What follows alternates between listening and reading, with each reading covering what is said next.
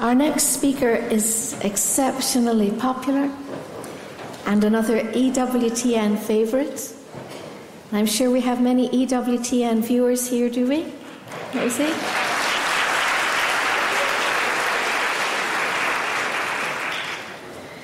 He is currently a professor of theology and scripture at Franciscan University of Steubenville, where he's taught since 1990 and he is the founder and director of the St. Paul Centre for Biblical Theology.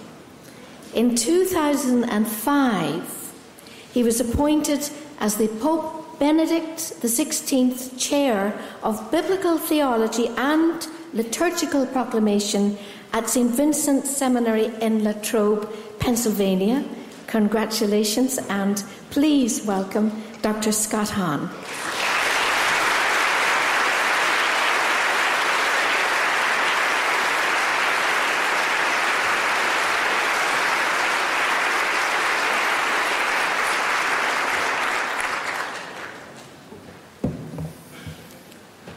For so many years, I've been listening to Donna's music, but now I don't have to turn on my CD player. I just get to look up and see her. What a, a joy it is to share the day with you, and with you, my brothers and sisters, and with my dear brother and good friend and colleague at Franciscan University of Steubenville, Dr. Mark Miravalle. It's rather daunting for me to get up after him and share, as I will, about the Blessed Virgin because in so many ways he's been my teacher over the years, over the decades, going all the way back to when I first entered the church 21 years ago. So I'm going to spare him the embarrassment by not asking him to leave. but I hope you will all join with me as I ask you to pray. In the name of the Father, and of the Son, and of the Holy Spirit. Amen. Almighty God, our Heavenly Father, we want to thank you from the depths of our heart for the gift of your Son. But our hearts are too weak. And so we turn now to the Immaculate Heart of the Blessed Virgin and ask for her intercession to gain the grace for us to pray in a way that you deserve as Abba Father for the gift of Jesus, your Son, and hers, that the power of the Holy Spirit might come over us and overshadow us, to enlighten our minds with the light of divine truth, and to enkindle our hearts with the fire of divine love that we might grow in our understanding, but that with your help we might live out faithfully all that we learn of these supernatural mysteries, these beautiful truths and realities that make up our faith, that make us your family. So help us and hear us as we pray the family prayer that Jesus taught us Our Father, who art in heaven, hallowed be thy name. Thy kingdom come, thy will be done on earth as it is in heaven. Give us this day our daily bread, and forgive us our trespasses, as we forgive those who trespass against us. And lead us not into temptation, but deliver us from evil.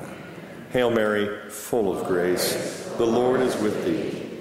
Blessed art thou among women, and blessed is the fruit of thy womb, Jesus. Holy Mary, Mother of God, Pray for us sinners, now and at the hour of our death. Amen. Our Lady of the Holy Rosary, pray for us. In the name of the Father, and of the Son, and of the Holy Spirit. Amen. Well, I've got the sense this past hour that the majority of you seem to be cradle Catholics. And so I suspect that for most of you, you can hardly remember a time where you are not already familiar with Fatima and Our Lady of Fatima. Well, that is not the case for me. I can remember vividly exactly where I was and what I was doing when I heard for the very first time about those three kids and that wonderful apparition from May until October 1917. For us to be able to join together to celebrate the 90th anniversary of that one occasion when six months after the first appearance, you have the miracle of the sun and so many more graces too it's just a great and, and indescribable privilege for me. But I'll tell you, it was almost exactly 23 years ago that I first heard about it. Because I was there at a hospital bed where my wife was laying there in labor. and I had been taking this husband coached childbirth. I was supposed to help her with her breathing. But the television was on, and I was distracted by the voice of Ricardo Montalban. And as a Protestant pastor, I should have turned the channel. But I didn't. I looked up and I listened and I watched as Ricardo Montalban described Our Lady of Fatima and the miracle that had happened back in 1917 and she kept looking at me and she said, Would you help? You know? she said, Turn that off. I said, I'll turn the volume down. You know? I was mesmerized. I, I was stunned. After almost an hour, I was trying to figure out how to help her breathe through labor while I was also trying to figure out how in the world did I miss out on this? I never heard of the Miraculous Sun. I never heard of Lucia Jacinta and Francisco. And here I was, sitting there in a chair next to my wife, who ended up getting a cesarean section that night, and I don't accept the blame. it wasn't her breathing. but I remember because at that time, in my own study, so many things kept coming up Catholic that I had basically prayed and studied myself into a crisis of faith. I'd already resigned my pastorate as a Presbyterian minister, and so I was taking a job in a college administration that would leave me evenings free to study. But I didn't think that this evening was going to be such an instructional, uh, instructional time, but it was. And I'd like to tell you that when the show was over, all I did was to focus upon my bride and her agony. But my mind was just split I had to go and find more. And so, about three days later, I went out and found some materials about Fatima. And I fed my mind and my heart. And ever since, I have become more and more convinced that this is one of the greatest gifts that God has given, not only to the Catholic Church in the modern era, but to the whole human family. And I want to echo so much of what you've already heard from uh, Dr. Miravalle because he expressed the concerns that many non Catholics have when it comes to Marian doctrine and devotion as the Catholic Church teaches and practices it.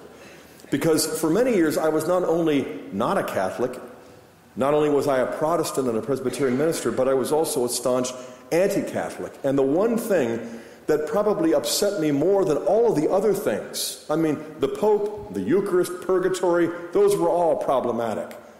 But Mary, Mary seemed quite contrary to the Bible that I read. And at root, it was more than just the doctrine of the Immaculate Conception. It was more than just the doctrine or the dogma of her bodily assumption. It was also more than this sense that she is still functioning in terms of heavenly queenship. Those three doctrines just expressed to me a fundamental dread that I had that all of this detracts from Jesus. All of this robs Christ of glory, and so, as you explained, I opposed that teaching because I wanted to protect the glory of my Savior and Lord. And I wanted to bring honor to His name and do whatever I could to take away from those who detracted from it. Now, of course, that I am a Catholic, there is one fundamental reason because I don't see Mary detracting from the perfect work of Christ our Redeemer. I see her refracting the light of his redemptive work. She no more detracts from Jesus than a prism detracts from light. When a light strikes a prism, the refraction of that pure light into the various colors across the spectrum display what was in that pure light when it hit the prism. Not only does the moon not detract from the sun, but the prism doesn't detract from the light. It reveals the perfect beauty of the redemptive work that Christ accomplished because Christ didn't come and he didn't come to earth and become a man in order to redeem himself. He didn't come and die and rise again in order to get something that he lacked. It began to occur to me over the course of years as a Protestant struggling with the church's teaching, that I really had a fundamental misunderstanding of how we glorify God. Because it seemed to me a kind of tug of war. That the more glory you give to Mary or the saints or the Pope or the priests, the less Christ gets. But in fact, Jesus didn't become a man, suffer, die, and rise again in order to get more glory than he had in the first place. He can't get any more. He's God. His glory is infinite, and his infinite glory is eternal. So if he didn't become a man, suffer, die, and rise in order to get more glory for himself, then why did he go to the trouble and go through all of that agony? Well, the scriptures are clear. At least they became increasingly clear to me. He did it to give us his glory, the glory as of the only Son of the Father. He came to share with us his own divine sonship. And so now, the one overarching reason why I embrace the Catholic Church's doctrinal teaching and devotional practices concerning the, the Blessed Virgin Mary, and the one overarching reason why I fully affirm the timeliness and the profound rightness of defining the fifth dogma, is because I think this will show the world the revelation of Christ's glory and the perfection of his redemptive work where it is found in its most resplendent form his mother, our mother. Jesus proclaimed the gospel, and then he proceeded to fulfill it. But as I said, the gospel didn't change the second person of the Trinity. The eternal Son did not gain a single drop of glory for himself after living, dying, and rising as a human, which he lacked beforehand. God didn't create and redeem the world in order to get more glory, but rather to give it. We need to get over this notion that the God creature relationship is a kind of master slave relationship. That's the way I think a lot of people think. But no, what we have to grasp is the beautiful truth of the mystery of Abba Father. And we wouldn't know that truth until He sent His only Son. And He taught us to pray in a way that they had never prayed before in ancient Israel. To pray our Father, to call God Abba, to come to know Him as Papa, Daddy, in the most intimate terms. Do we thus detract from Christ's finished work by affirming its perfect realization in the Blessed Virgin Mary? On the contrary, we celebrate the work of God the Father through his Son in this creature who is destined to be not only his daughter, but the mother of his Son. Here we find the perfection of Christ's saving work, which he accomplished not for himself, but for us as humans. I am convinced that nothing brings a family together so much as when they celebrate a mother.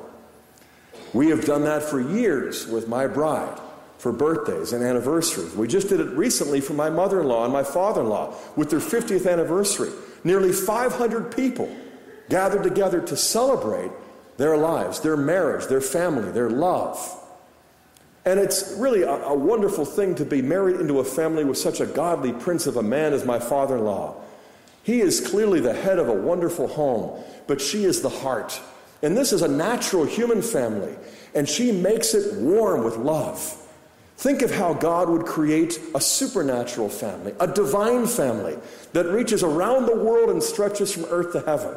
How could we be a family if we have a father and his firstborn son as our oldest brother, but without a mother?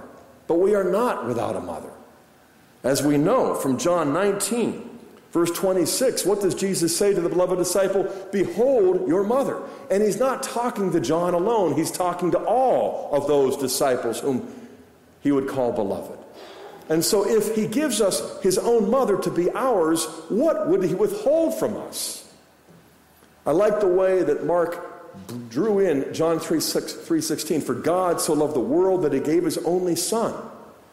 But we hear in John 19, verse 26, that we could almost paraphrase For Christ so loved the world that he gave us his only beloved mother to be our own. As Exhibit A, proof positive that we're not just ransomed captives. We are adopted brothers and sisters. We are divine sons and daughters. And this is something that does not rob God of the glory, it reveals the glory of the Father that he accomplishes through the work of his Son by the power of the Holy Spirit, making us one with a oneness that originates inside of the blessed Trinity. Mary is not God. We're very clear on that. We do not give her the adoration of worship. But she is the mother of God. She is only a creature, but she is God's greatest creation. St. Thomas Aquinas was very emphatic about this. In the Summa Theologica, he says that there are three things that God has accomplished that cannot be improved upon. One is the hypostatic union. When you look at Jesus, the union of humanity and divinity is perfect. It could not possibly be improved upon. Number two, the beatific vision. Our life in God for all eternity will lack nothing. It cannot be improved upon. After billions and billions and trillions of years, it will pass by as one intense, intensely pleasurable second. You know, they say time flies when you're having fun. Trillions of years will seem like a moment with the joy of life inside the Holy Trinity. The beatific vision cannot be improved upon. So, what's the third? The third thing that God has accomplished that cannot be improved upon is the Blessed Virgin. God could not fashion a creature greater than her. And this, again, gives all the glory to God because she is his handiwork. She is Christ's masterpiece. You see the perfection of Christ's redemptive work manifested in her, not in Jesus, but in Mary. Far better than you see it in Scott or Mark or any of us. God is accomplishing a father work in all of our lives, but his fatherly work is a work in process. It's a work in progress. It's a work that has to accommodate our weaknesses and our failures.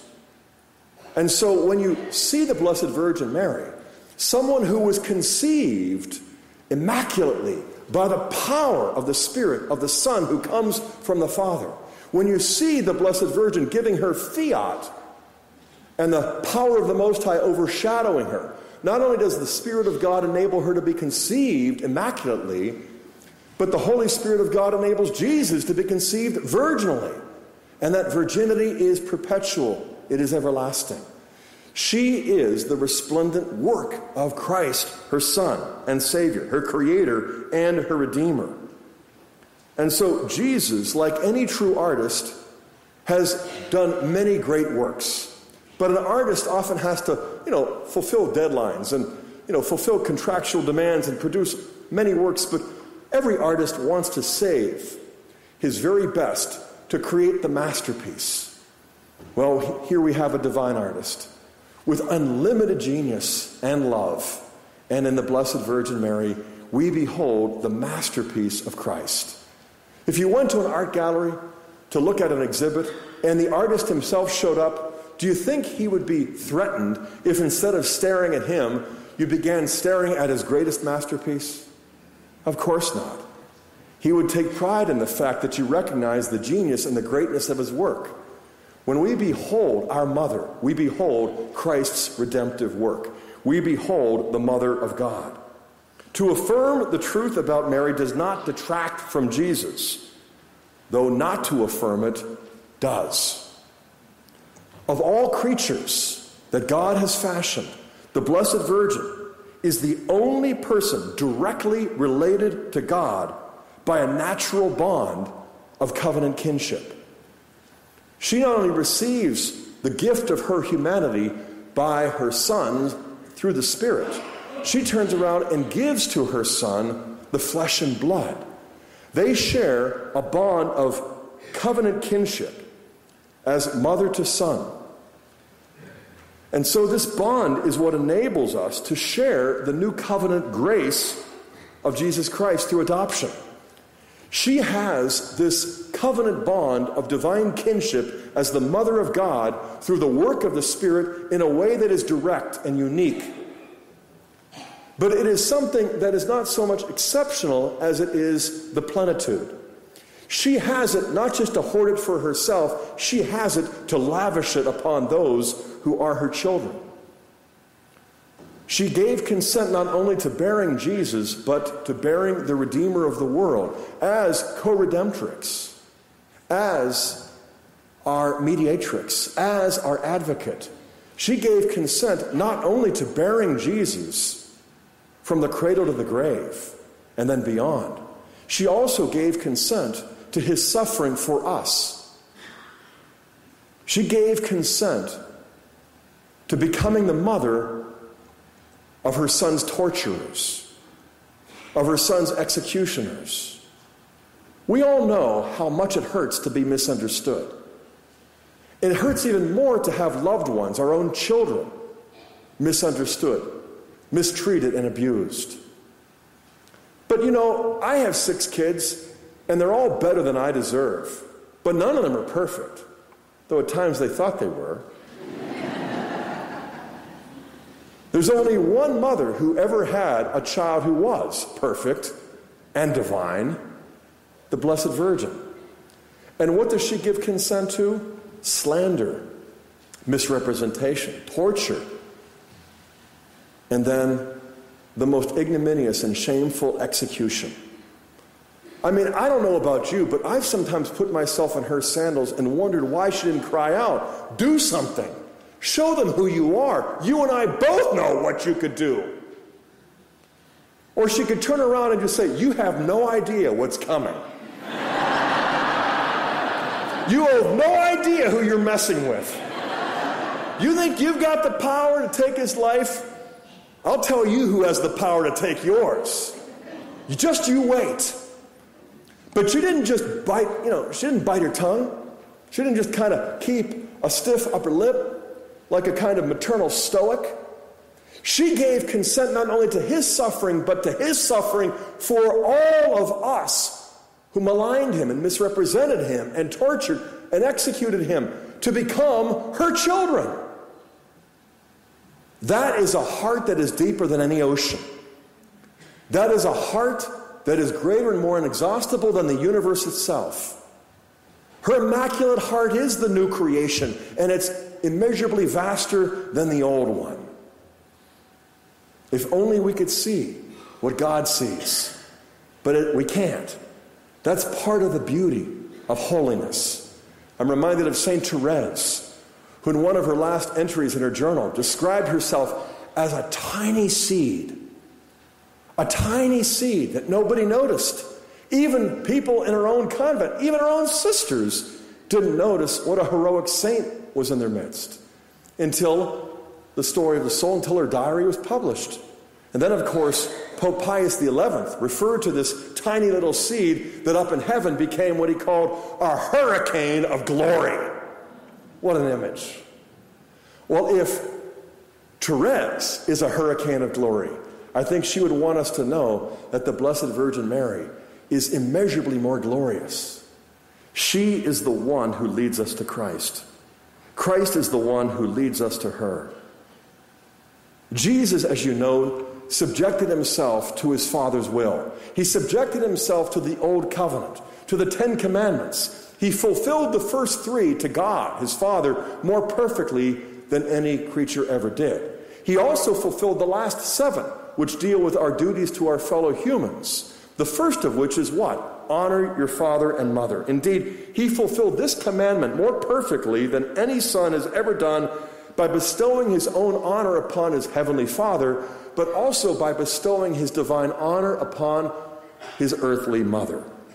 And we are simply called to imitate him. We are not supposed to love Mary any more than Jesus did. But what we long to do is to love her as just as he did.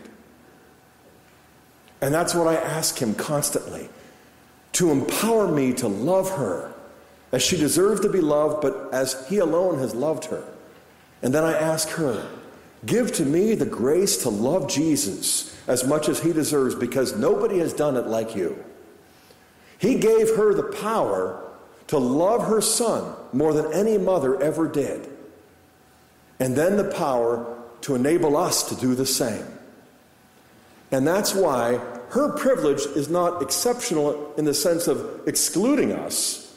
It is a plenitude that is given for precisely the purpose of including us. When you give something to a mother, you can be sure everybody in the family will get it, especially if they need it. And so, this is the heart and soul of what it means to be Catholic Christians to live our lives as sons and daughters of God in the Catholic Church as the family of God, and to behold the eternal Son of the Father, and to hear him, and to thank Him for the gift of His own mother to be ours. This is the love affair we call salvation. Now, there's a lot more to it than what I in one hour, but I want to identify something that I consider to be of greatest importance. And you can already get a sense of it because of what I've said thus far, and that is we have got to we've got to transpose the gospel key out of the key of individualism into the key of the family. In Western civilization, we tend to think of individuals and their rights, and then the family and the state and all the other as institutions. But the family is different than all the other institutions. The family is not only something that God has designed beginning with the marital covenant, the family is what reflects who God is in his perfection. Pope John Paul II once stated, and I quote, God in his deepest mystery is not a solitude, but a family. Because God has in himself fatherhood, sonship, and the essence of the family, which is love.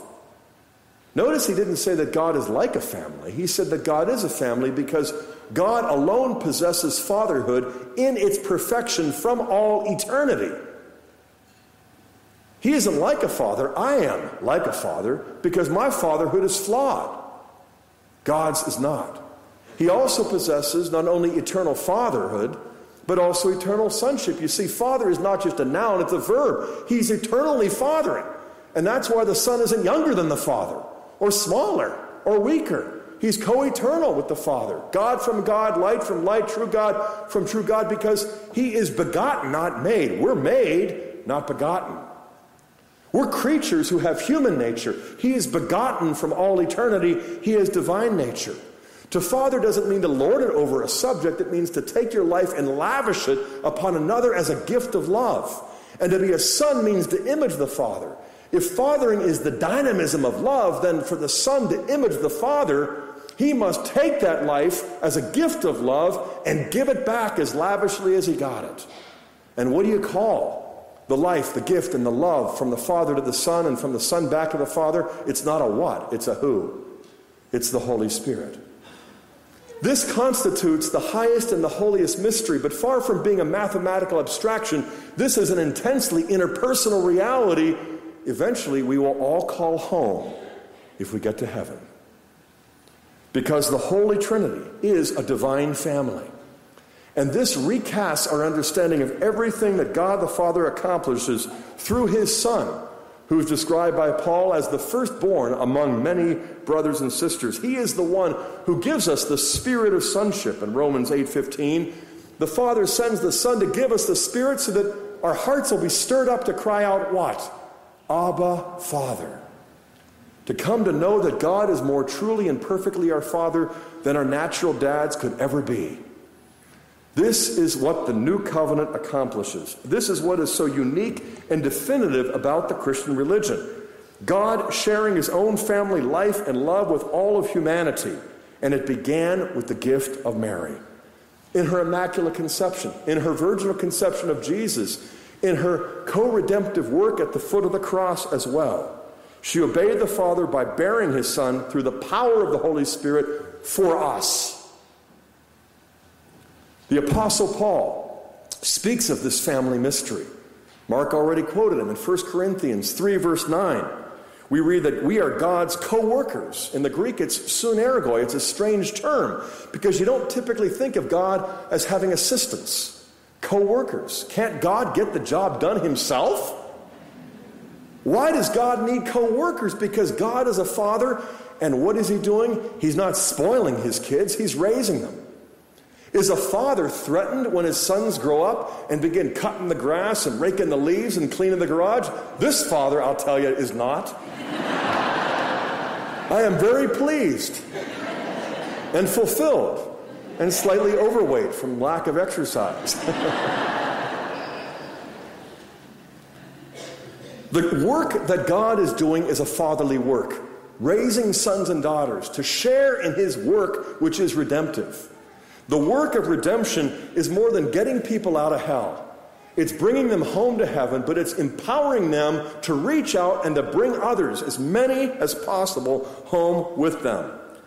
This is what Jesus has shared in an unparalleled way with the Blessed Virgin Mary, to whom God entrusted such co working tasks as feeding his son, nursing him, singing him to sleep, teaching him to speak, accompanying him all the way to the cross, and then waiting for the gift of his Spirit, and teaching the apostles to pray like nobody had ever prayed before. This yes was not just given to Gabriel. This fiat mihi secundum verbum tuum, this yes from the heart of the Immaculata, is a yes that continues for all eternity. It is the yes of God's greatest creation. Could there be a more intimate co worker with God than the only creature fashioned to be the mother of God? This is something that we could spend much more time on, but we're limited this afternoon. So I want to just kind of focus on a formula that Pope John Paul II seemed to have introduced. It's already been referred to, but I want to underscore it just briefly. And that is maternal mediation. Maternal mediation. And the reason I want to emphasize this is because Mark put his finger right on the pulse of this former Protestant when he cited that passage in 1 Timothy 2 5, where we read what? That there is one mediator between God and man, the man, Jesus Christ. I can't tell you how many hundreds of times I, I threw that in the face of my Catholic friends to show them how absurd and how unthinkable Marian doctrine and devotion were from a biblical standpoint. How dare we refer to Mary's maternal role as mediatrix? And yet, that is precisely what motherhood means, most especially in the family of God. Mediatrix is just a theological term that captures the concrete truth, beauty, and reality of what it means to have a divine mother. She is not the mother of God in the sense of the originator of God, obviously. She's a creature, not the creator. But she's a mother in the truest sense of one who bears God. The bishops who defined the dogma of Theotokos, the mother of God, way back in 431 at the Council of Ephesus. Thousands of faithful came down to Ephesus. They waited all evening into the early morning hours until the bishops came out. Hundreds, 200 bishops came out and declared the definition of the dogma of Theotokos, the mother of God. The people responded with an exclamation, with shouts, with songs. They suddenly rushed the bishops, they hoisted them on their shoulders, and they carried them for blocks as a family celebrating the gift of a mother that came from the heart of God. This is who we are as the family of God. This is what Christ has accomplished as the one true mediator. This is what we need to understand much better. Because Christ has mediated the, the covenant love of God the Father for us so perfectly that he has merited everything we need. Everything we need. But I used to assume that if Christ merited everything we need for salvation, then there's no room left for Mary. Until I discovered the Catholic Church teaches that Christ merited everything for our salvation, including Mary's capacity to merit. Christ's intercession at the right hand of the Father is perfect, but far from excluding my own feeble prayers and intercession for others, Christ's intercession doesn't exclude mine, it empowers mine and enables me to pray with greater fervor and fruitfulness than I ever could on my own without the one and only mediator between God and man. The one mediator is the Son of the Father the firstborn among many brothers and sisters. Jesus is the one mediator because he is the firstborn son, the eternal son of the Father. Mary is the mediatrix because she is the mother, empowered by God's Spirit. And so everything she is, Christ made her. Everything she has, Christ gave her. And she didn't just get it in a passive way, she got it in a dynamic and active way, or else she wouldn't be a mother. And so what we see is Christ has merited Mary's capacity to merit. He's merited our capacities to merit, as small as those capacities might be. But what do we mean by merit? If we're thinking of merit in strictly economic terms, then it's quite absurd to apply it to Mary or anybody else. But that is not what merit means. Merit comes from the, the Bible. And the Bible is covenantal, not contractual. It is familistic, it is not economic.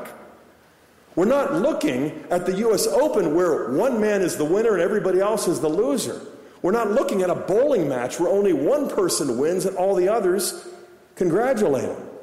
We're looking at a family where everything the Father has, He gives the Son, and He returns the Father in the power of the Spirit, and they lavish it upon all of us beginning with Mary, the exemplar of our salvation. So, as St. Augustine writes, when God rewards us for our labors, He's only crowning His work in us. He has successfully fathered us through the Son by the Holy Spirit. We merit grace like a child earns dessert by eating everything else the Father put on his plate. We merit grace the same way children end up gaining an inheritance by staying in the family, by loving your brothers and sisters, and doing your best to honor your parents. An inheritance is not something you strictly merit by some principle of abstract justice. By the grace of birth, you enter a family. You don't buy your way into my family. You, you can't work your way into my family. How much more can we not buy or work our way into God's? But Mary didn't. She was fashioned as the mother of God through the power of Christ's Spirit, as the daughter of the Father, and as the mother of the Son and the spouse of the Holy Spirit. She is the greatest handiwork of God, but she is proof positive, she is exhibit A, that God's redemptive work is a family affair. That we do not understand it properly unless we look at it in the light of God's fatherly action that raises us up as children and her not only as a daughter, but as a mother and a spouse as well. So let's remember that it's true that Christ has merited all graces for us, including Mary's capacity to merit. Christ's role as mediator secures all graces, including her role as mediatrix. Christ's intercession is all sufficient, but far from meaning that we don't need to pray we can now pray in a more powerful than we ever could apart from Christ, the one true mediator.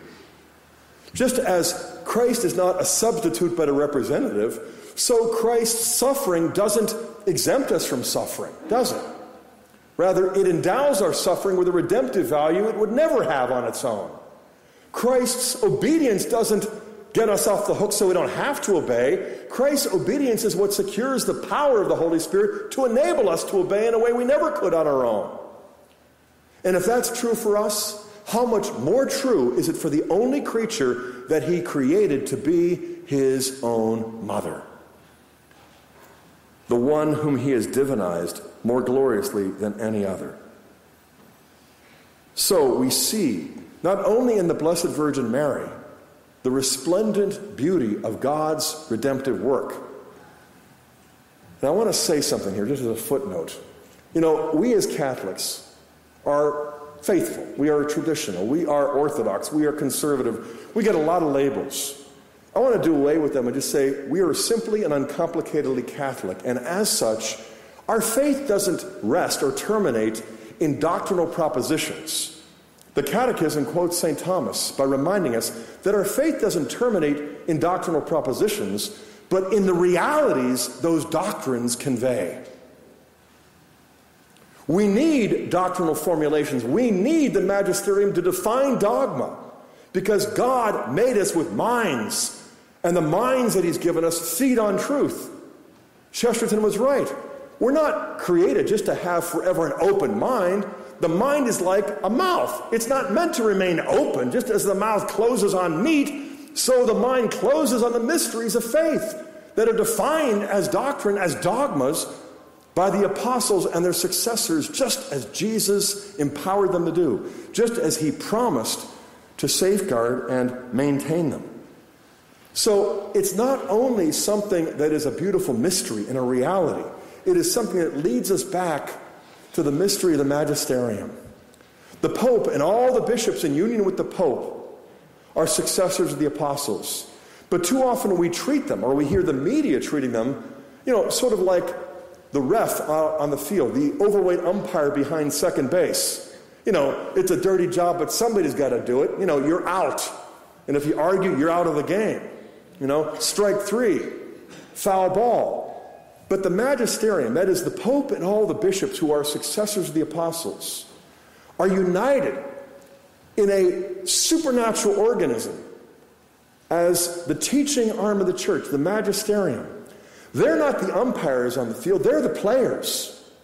They're the ones who are proclaiming the gospel, administering the sacraments. They're the ones who are the successors to the apostles. And we are in union with them by the power of the Holy Spirit who safeguards them. So, what is a dogma?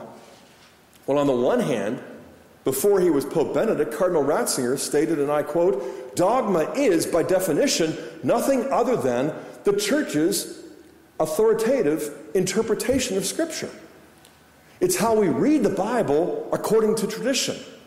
Dogma is, by definition, nothing other than the church's authoritative interpretation of Scripture. So, as Mark went down the list of the Marian dogmas, beginning in 431 with the Council of Ephesus, Theotokos, the Mother of God. And then in 647 with Pope Martin I and the perpetual virginity of Mary. And then likewise in 1854 with Pope Pius IX and the Immaculate Conception. And then, of course, in 1950 with the, the definition of the dogma of Mary's Assumption by Pope Pius XII, working with all of the bishops in the church around the world. There are four dogmas. She's the Mother of God, she's perpetually virgin. She is, in fact, the Immaculate Conception, but now she's been assumed into heaven, body and soul. For what purpose? Just to kind of wait for the rest of us? No, to pray and to gain the grace for the rest of us. That is what we celebrate in her heavenly queenship. She is the queen mother. And as such, she is co redemptrix, mediatrix, and advocate. All those three terms do is to unpack the meaning of what she is now that she's glorified in heaven as the mother of God and the mother of God's children. And this is why the first four definitions of Marian dogma all basically help us plot a trajectory that leads straight to the fifth and final dogma. Because the fifth dogma explains who she is now and what she's doing until we all get home to share in this heavenly reunion. She is co redemptrix, not an alternative, not an equal, but as mother, she gave us our Redeemer. As mother, she gave us our mediator. As mother, she is our advocate. I wish I had time, but I know that I don't, to go into how it was that I came ever so slowly and with great resistance but also with considerable excitement to discover that the Catholic Church is not just teaching truth authoritatively, but interpreting Scripture compellingly. Way back in high school and college, I used to challenge my Catholic friends show me a text the Immaculate Conception, the bodily assumption, or heavenly queenship. You know, and they'd run and hide when I came into the cafeteria. I wasn't aware of the fact until I, I, just met a few months ago with an old college friend of mine who we, we shared a fraternity. And he came up and he told me, he said, You know, I'm so glad you're Catholic. I'm like, Why is that? He said, Because when we were students and you walked into the cafeteria, I literally, I, I would get up and leave. I was afraid of you. And I'm like, I, I didn't remember how I would just gently and lovingly harass you papists, you know? But I remember a turning point in my life sitting in class as a graduate student in seminary when a professor just gave us a throwaway line. I don't think he remembers saying it, but he just happened to mention. Oh, and he said, you know, to use a text as a proof text, to take a text out of context in order to use it as a proof text, he said, that's a pretext. and I sat there squirming because I thought, well, that's what we do. We look for proof texts to back up our beliefs. And so often it meant memorizing 20 or 30, or in my case, 50 or 60 New Testament verses, typically out of context, to kind of set you straight and get you out. I'm really sorry about all that. it's a lifetime of joyful restitution that I'm doing here. But that teacher was right. But I had no idea how right he was. I'm not even sure he did. Because what I discovered is when you, when you read the Bible contextually, that means not just looking for a text in the New Testament, it means reading the new in light of the old, and the old in light of the new. It took me almost two and a half, close to three years of studying Scripture, reading the Fathers, and discovering the church's living tradition. Because they were never settling for proof texts. They would always read the New Testament text in light of the Old Testament context, and there were three sources that I found especially helpful. They looked at Adam and Eve and saw Jesus as the new Adam, as St. Paul describes him in Romans 5 and 1 Corinthians 15. The first Adam was a type that prefigured the new, the last Adam. And the last Adam surpassed the first. But they also pointed out there was an Eve, and then there was a new Eve. And the new one surpassed the first by untying the knot, by giving the new Adam a body, just as the old Eve gave the old Adam the forbidden fruit to reverse the effects of disobedience. The new covenant was brought about by a new Adam, but not a new Adam alone, but a new Eve. I remember looking at John, the Gospel of John, chapters 1 and 2, and seeing the parallels with Genesis 1 and 2. How does Genesis 1 begin? In the beginning. How does John 1 begin? In the beginning. How does God create in Genesis? He speaks the word, let there be light. In the beginning was the Word, and the Word was with God, and the Word was God. And all things came into being through that word, and that word became flesh and dwelt among us. But in John 1, verses 29, 35, and 43, you find what you find in Genesis 1. The next day, the next day, the next day. And then eventually you get to the seventh day in Genesis 1 and 2, and you have Adam and Eve. In John 1 and 2, you come to the seventh day, and there's a marriage. There's a wedding feast at Cana. But the bride and the groom are not named. In fact, none of the characters are identified, only two. And who are they? Jesus and Mary, but he doesn't call her Mary, he doesn't call her mom. He uses the same term Adam used when he first beheld Eve. And what is that? Woman. Woman, because this is a new covenant. It's a mystical marriage with a new Adam and a new Eve. And he uses that term once more in chapter 19. When she's at the foot of the cross, not only is she bride, but she's now mother. Behold your mother. So I saw the new Adam and I saw the new Eve, and I discovered the sources of the church's teaching about the Immaculate Conception. Because Protestants agree with Catholics on three fourths of this proposition. Protestants and Catholics agree that Adam and Eve and Jesus were all created with original sin. We're just squabbling about the new Eve. But if the new covenant surpasses the old and the new Adam is created out with original sin, how fitting it would be for the new Eve to be also. And so it's an argument from fittingness. It's the logic of God's fatherly love. And I found the same kind of tradition in the scripture when you read the new in light of the old with respect to Mary as the ark of the new covenant. You go back to Exodus and you see how God uses Moses to bring his people out of bondage.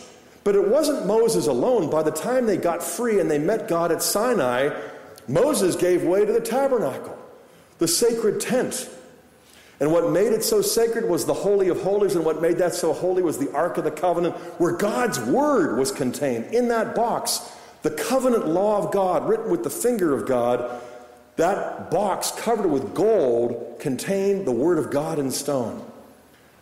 Well, Luke derives his own description of the Annunciation from the traditions of the Ark of the Covenant to show that Mary contains the Word of God not in stone but in flesh.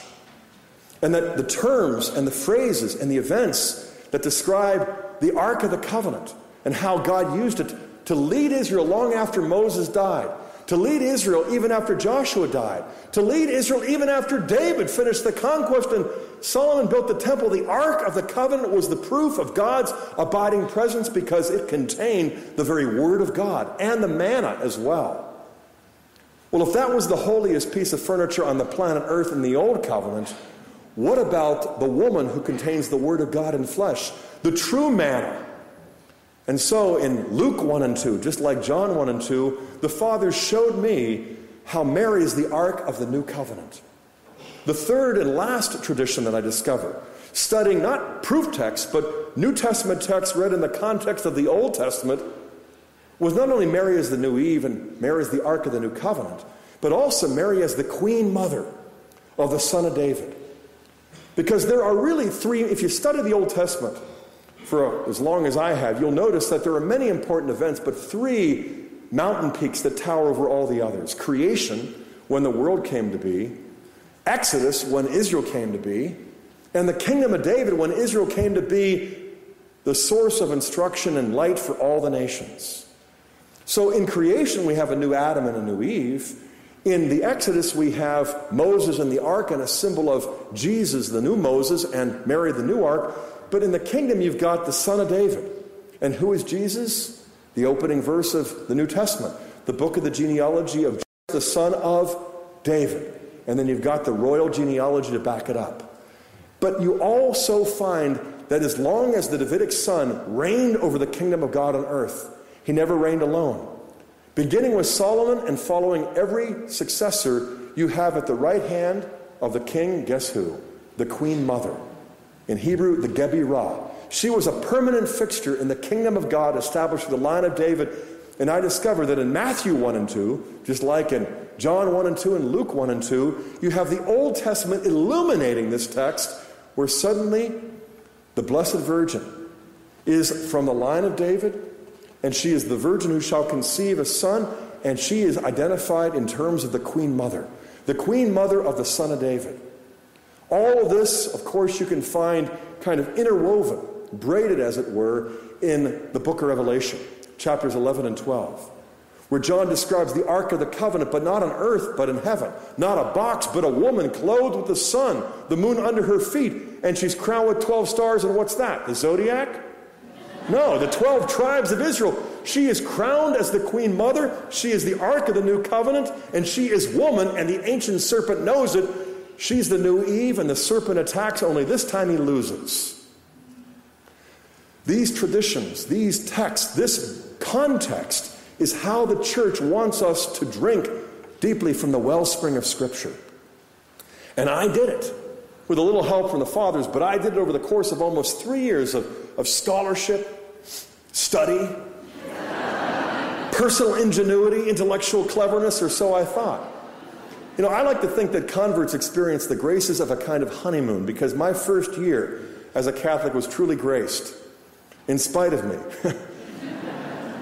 I will tell you a, a story very briefly. It concerns a relative of mine who happens to be a minister.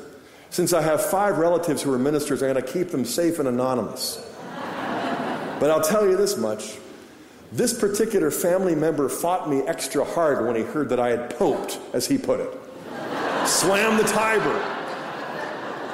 And so we were both looking forward to the first opportunity we could have to kind of, you know, do a little bit of biblical wrangling, if you will. Studio wrestling. Well, our wives were determined to prevent that from happening, but after dinner one night, we both decided to help him out by taking out the garbage, and we snuck into the office in the basement where we just went at it, tooth and nail, for almost four hours. And I mean, we, he wanted to talk about the Pope and the Eucharist and purgatory and the saints, but you could tell there was one thing stuck in his craw, and it was the same thing that was stuck in mine for years, and that was Mary, Mary, quite contrary to the Bible. And so he challenged me. And so I reminded him of what he had heard from the same professor I'd heard that to take a text out of context and use it as a proof text is a, pre, is, a, is a pretext, and so we've got to read it contextually. And then I basically unloaded two and a half years of research on him, all about Mary as the new Eve, Mary as the Ark of the New Covenant, Mary as the Queen Mother of the Son of David, Christ the King. And he was listening and he was looking at me like, Where'd you come up with this? You know, and he was like, this is ingenious, this is intriguing. It isn't altogether compelling, but, you know, I could tell he was fascinated, even if he wasn't converted in one night. Sometimes you mistake yourself for the Holy Spirit, as I did that evening. But I mean, I was just deploying text after text after text in context, referring to the fathers, and basically summarizing two and a half years of brilliant personal innovation clever ingenuity, academic achievement at the highest level. And then our spouses found us. They came down and they outed us out of his office. They said, Stop this, you know, and, and we did, but it was nearly midnight by then. The next morning, I was halfway through breakfast when I looked up at the calendar and I noticed a particular date. It was August 15th. You see, you can't memorize chapters and verses in the Bible, I see, but you can, you got those holy days down. I was a newbie. I didn't know all of these holy days, but I recognized this one and I realized I'm going to have to get to church somehow. I had to go to Mass. So I, you know, I, I asked in the family, is there a Catholic church around? Well, there's only one. What is it? Our Lady of Victory. That sounded sweet in my ears. You know? So I.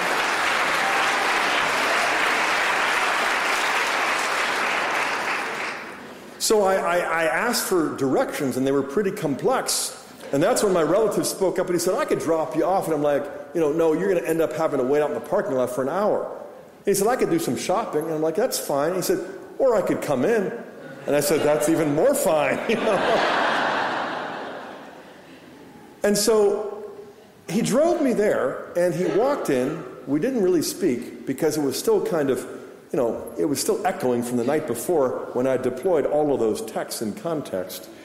We sat down and we prepared ourselves through prayer. He's a very devout believer. And then when the priest came out, we all stood up except for him. He's Protestant, so he just wanted to sit there as an observer, just the same way I had done a year earlier.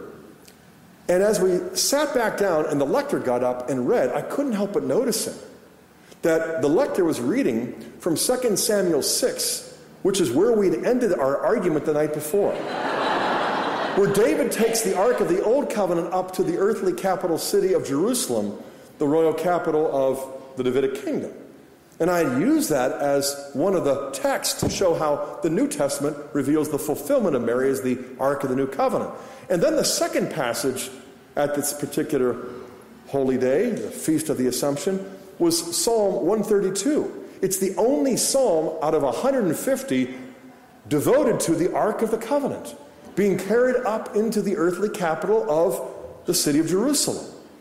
And then the next reading was taken from the book of Revelation, chapters 11 and 12, where John sees not the Ark of the Old Covenant on earth you know, made of wood covered with gold, but the Ark of the Covenant in the divine temple in heaven. And the very next thing he describes is a woman clothed with the sun. This isn't a wooden box. This is the woman clothed with the sun, the moon under her feet, crowned with 12 stars. She's the Queen Mother, the Ark of the New Covenant. She's the new Eve. And this is the third reading. And then, for the pièce de résistance, it was Luke 1. It was the Annunciation, where Luke describes Mary as the Ark of the New Covenant. And when I sat down, I felt like I just won the lectionary lottery.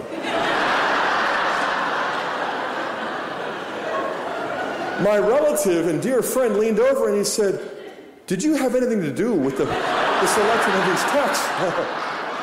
yeah, I said, You know, the, the Pope called me last week, you know. And as I sat there listening to the homily, I felt set free. I felt liberated from all of my academic ingenuity, my intellectual prowess. I had spent two and a half, almost three years reinventing the wheel. I wasn't so clever after all. In fact, I discovered that day and every day since how much better it is to be highly unoriginal and to recognize that this is the way that Scripture is read from the heart of the church and has been since the very beginning. As it was in the first century, it is now in the 21st century. We're always going to be hearing about Our Lady on her feast days, listening to how God prepared the human family to become His own by preparing the gift of the Mother of God who is the new Eve, who is the Ark of the New Covenant, who is the Queen Mother. She's daughter Zion. She's so much more. She's Jacob's ladder. The Old Testament is filled with major and minor images. The burning bush that the fathers showed. These don't just point to Jesus, these also point to Our Lady. And this is what is served up in every main course we call the bread of life in the liturgy of the Word. And the scriptures ought to be causing our hearts to be burning within us. Remember those two disciples on the road to Emmaus? What did they say? Our hearts were burning within us as he opened up the scriptures. But did they recognize Jesus? Not until what? The breaking of the bread. And what does that refer to? The Eucharist. So the scriptures prepare us to celebrate the mystery of Jesus Christ in the Holy Eucharist. The Holy Eucharist actualizes and fulfills the saving truth of Scripture. But none of this happens apart from the Blessed Virgin. She is there at every Mass. Just as she was at the foot of the cross, so she is present, just as John describes in the visions of the heavenly liturgy in Revelation 11 and 12. She is there alongside of her Son. He is the King of Kings. He is the High Priest. She is the Queen Mother. She is the Ark of the New Covenant. She is the temple of God's Spirit. And if we could just see 50% of her glory now, we'd be blinded. God mercifully spares us and accommodates our weaknesses so that we walk by faith and not by sight. But faith grasps not only the real presence of Christ in the Eucharist, but the real presence of the Blessed Virgin Mary at the foot of the cross at his priestly sacrifice for us whenever that new covenant is renewed. Is this cool or what? This is what it means to be Catholic. This is how we should be reading the scriptures because this is how the scriptures are read from the heart of the church way back in the first century and still now in the 21st century. And I also want to just say, in closing, that this is how I came to see the Immaculate Conception. She's the new Eve. The bodily assumption, she's carried to the heavenly Jerusalem like the ark was carried to the earthly. She's the Queen Mother in the heavenly Jerusalem next to her divine Son, the King of Kings. But this is also how I discovered what else? She's the co redemptrix as the new Eve. She is also the mediatrix. The ark was the ark of the covenant. Jesus is the mediator of the covenant. She is the one who bears the mediator. That's what mediatrix means. And she is the advocate because that's what the role of the Queen Mother is. She advocates the cause of the members of God's royal family. This isn't just true as dogma, it's dogma because it's real. And the reality is infinitely more beautiful and glorious than any words you will hear today. So let's close our eyes and lift up our hearts and ask for help. In the name of the Father, and of the Son, and of the Holy Spirit. Amen. Almighty God, our Heavenly Father, you are, you are our Creator, our Lord, our lawgiver and judge. But far more, you are Abba Father. And we know it, and we can live it because of the gift of your Son. And so, in the name of Jesus, once more, we pray for the gift of the Holy Spirit to come down upon us, that the power of God's Spirit, your Spirit, might overshadow us, to enable us to love Jesus as Mary did, and to love her as Jesus did. So, help us and hear us as we pray the family prayer that Jesus taught us. Our Father, who art in heaven, hallowed be thy name. Thy kingdom come, thy will be done, on earth as it is in heaven. Give us this day our daily bread, and forgive us our trespasses, as we forgive those who trespass against us. And lead us not into temptation, but deliver us from evil. Amen. Hail Mary, full of grace, the Lord is with thee. Blessed art thou among and blessed is the fruit of thy womb, Jesus. Holy Mary, Mother of God, pray for us sinners, now and at the hour of our death. Amen. Our Lady of the Holy Rosary.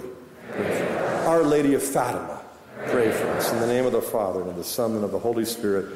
Amen. Just briefly, I want to mention that all that I was sharing today is just an encapsulation of a a book entitled Hail Holy Queen, the Mother of God in the Word of God. And that's where I go through all of the Old Testament and New Testament traditions as I discover them. And I mention this because it's great to hear talks and to go home with memories and warm feelings, but those will dissipate. I want to encourage you to take advantage of the resources that are available downstairs at various tables. I want to especially encourage you to read the scripture, study the catechism, and discover St. Maximilian Kolbe however you can. The resources down there, go online, ask your friends, ask your priests, find out more about the greatest Mariologist of all times, as I think he is. And as a, a, primer, I would recommend this little book, Hail Holy Queen. It answers all of the objections that uh, I used to raise, at least I do my best to. I also have another book that's out called Reasons to Believe, because we all know a lot of people who raise questions not only about Mary, but the Pope, purgatory, the saints, the sacraments, and all of the rest. So I wrote a book called Reasons to Believe How to Understand, Explain, and Defend the Catholic Faith, mostly drawing from the scripture as it's read in the church's living tradition. I also wanted to mention the Lamb's Supper, a book where I deal with the, the, the book of Revelation and how it corresponds to the liturgy of the Eucharist, the Mass as we know it, and also how Mary is an important part of the visions of John in Revelation 11 and 12, and how she's an important part of the holy sacrifice of the Mass. And recently I came out with a sequel called Letter and Spirit. It's the sequel to the Lamb's Supper. It's basically how to read the Bible from the heart of the church in the liturgy. I kind of unpacked it a, bit, a little bit more in a high school text.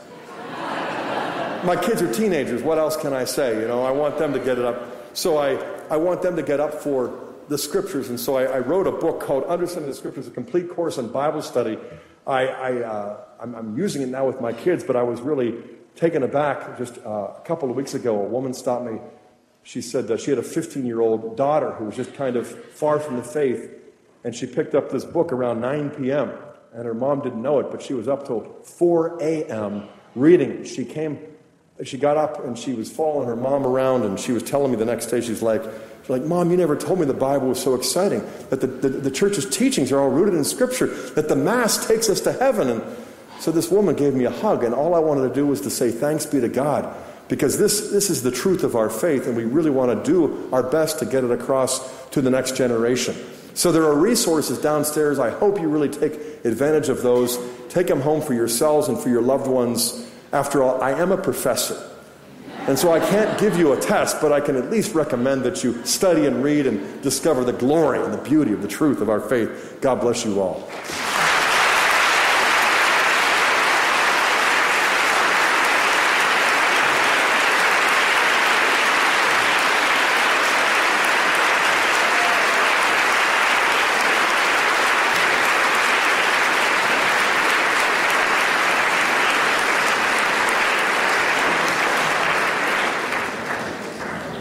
Well, we'll be asking questions after that one, I think. Very powerful talk. Thank you very much, Dr. Hahn.